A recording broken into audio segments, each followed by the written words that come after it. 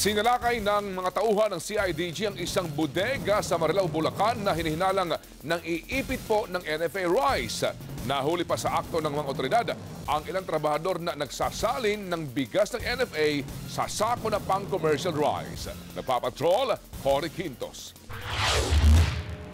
Daang sako ng bigas ng NFA ang nasabat sa loob ng Jomaro Star Rice Mill sa Barangay Abangan Norte, Marilao, Bulacan sa isinagawang raid ng Criminal Investigation and Detection Group ng Bulacan kanina. Huli sa akto ng operatiba ang ginagawang paglilipat ng mga trabahador ng bigas mula sa sako ng NFA na umano'y galing sa Pampanga sa mga sako ng commercial rice. Ayon sa CIDG, posibleng hinahalo ang NFA rice sa commercial o posible din na mismo ang NFA rice ang inilalagay sa sako ng commercial rice para maibenta ng mas mahal. Kinilala ng mga otoridad ang may-ari ng rice mill na sina Roberto at Regina Paulenco. Inaabutan namin itong ah, mga NFA rice nito na nire-resack Nasabat din ng CIDG ang dalawang 10-wheeler truck na may karga na higit isang libong sako ng NFA rice.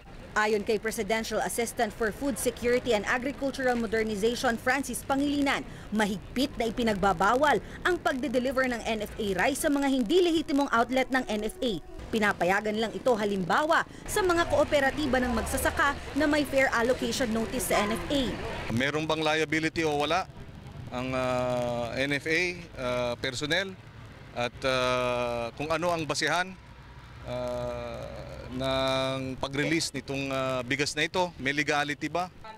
Itinanggi naman ng mga tauhan at naarestong caretaker ng nasabing rice mill ang ginagawang pagre-repack. Kumpleto rin daw sila ng papeles na magpapatunay na legal ang transaksyon ng pagdadala ng NFA rice sa rice mill. Hindi po namin ano dahil hindi namin nakikita sa loob kung inipi yung ginigiling nila o ano. Iimbestigahan din kung gumagamit ng pangalan ng mga kooperatiba ng magsasaka ang nasabing rice mill para maka-order ng maraming sako ng NFA rice.